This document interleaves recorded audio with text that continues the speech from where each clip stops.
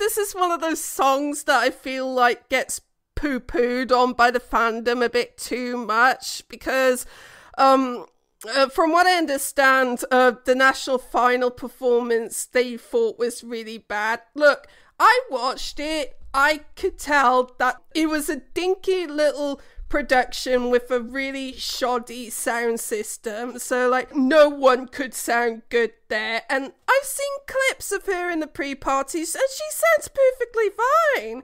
So, like, like, it kind of annoys me when people kind of assume that they're to sound bad because they heard them through some dinky little speakers or something like that. Like, I could go on a rant about how people overreact to like shoddy phone recordings from pre-parties and stuff like that, but mm, whatever.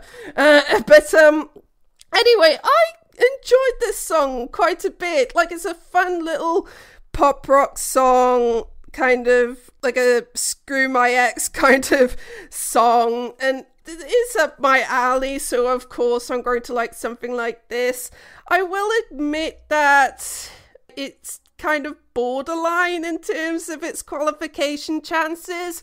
Like, my main concern is that spoken word bit they've added towards the end because usually when someone does that at Eurovision, it just ends up being quite clunky and I don't know how that's going to work out. We'll just have to wait and see. But um, yeah. Um, what do you think, John? Mm.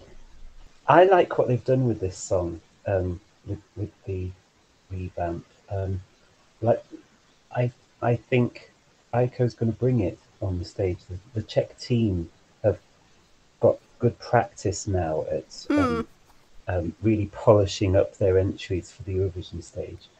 Um, as you say, it's borderline, and I don't see it as being widely tipped to qualify, but there's big potential for a surprise here, I think. Um, and useless fact um, this will be the 1700th Eurovision song. Oh, okay. I love useless statistics like that. Always welcome on this podcast.